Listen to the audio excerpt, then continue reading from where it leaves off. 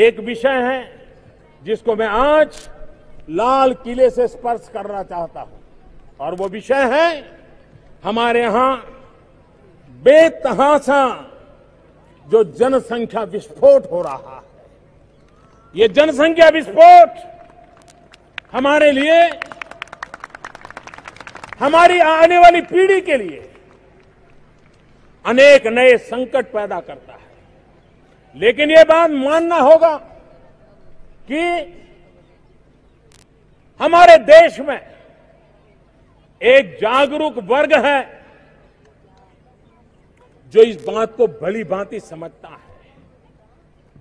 वे अपने घर में शिशु को जन्म देने से पहले भली भांति सोचता है। कि मैं कहीं उसके साथ अन्याय तो नहीं कर दूँगा। उसको जो मानवीय आवश्यकताओं की पूर्ति है वो मैं कर पाऊँगा कि नहीं कर पाऊँगा? उसके जो सपने हैं, उन सपनों पूरा करने के लिए मैं अपनी भूमिका अदा कर पाऊँगा कि नहीं कर पाऊँगा इन सारे पैरामीटर से अपने परिवार का लेखा जोखा लेकर के हमारे देश में आज भी स्वयं प्रेरणा से एक छोटा वर्ग परिवार को सीमित करके अपने परिवार का भी भला करता है और देश का भला करने में बहुत बड़ा योगदान देता है। ये सब सम्मान के अधिकारी है, ये आदर के अधिकारी हैं। जिनका, उनका जितना सम्मान करें, छोटा परिवार रख के भी वो देशभक्ति को ही प्रकट करते हैं। वो देशभक्ति का अभिव्यक्ति करते हैं। मैं चाहूँगा कि हम सभी समाज के लोग इनके जीवन को बारीकी से देखें तो उन्होंने अपने परिवार में जनसंख्या वृद्धि से अपने आप को बचा करके परिवार की कितनी सेवा की है।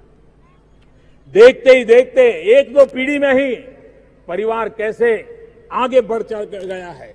बच्चों ने कैसे शिक्षा पाई है? वो परिवार बीमारी से कैसे मुक्त है?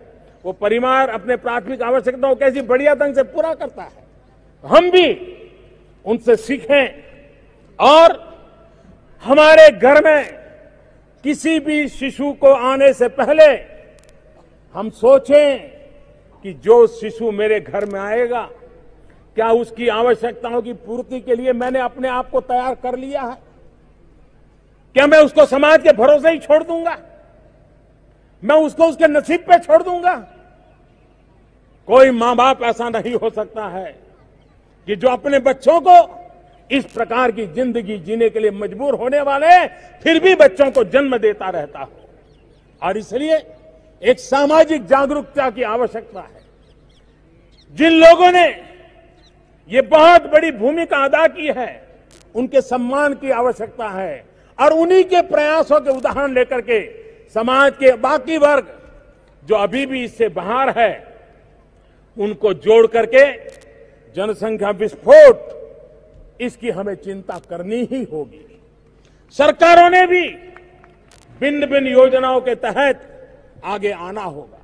चाहे राज्य सरकार हो, केंद्र सरकार हो, हर किसी ने इस दायित्व को कंधे से कंधा मिला करके हम अस्वस्थ समाज नहीं सोच सकते। हम अशिक्षित समाज नहीं सोच सकते